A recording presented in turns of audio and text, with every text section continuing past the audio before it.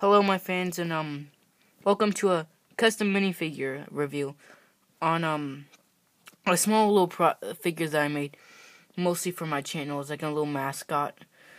Um, this is um a little custom Kre-O figure of well my Xbox and profile picture.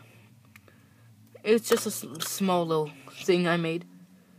It was very quickly to make as if you know what Kre-O is, it's basically a third party thing for Hasbro to make their own Legos.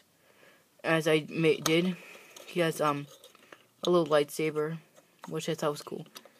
And I think it's like this is a small uh, SMG. I think that's what it's called.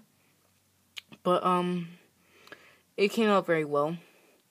What I mostly did was shave off the printing on the chest to do the creeper T-shirt and um, just gave it a little Optimus Prime head, and I think it looks good.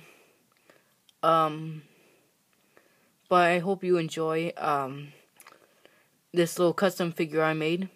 Um, a, a like and is very appreciated, and um, subscribe for more. Um, thank you for watching, and I'll see you later.